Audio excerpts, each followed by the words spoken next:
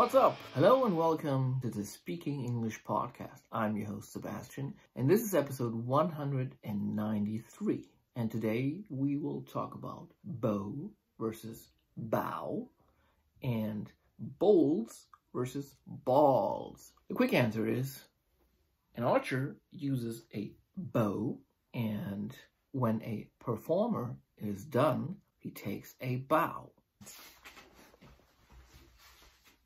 Thanks. Bowls rhymes with bow, the plural of bowl, and is where you put your cereal in. And notice my mouth, O. It's written with an O, so we say bowls.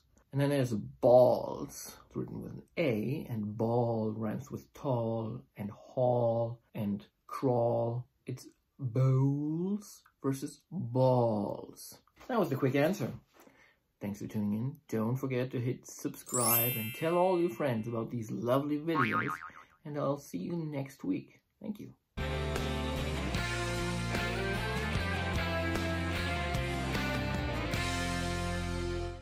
The quick answer is,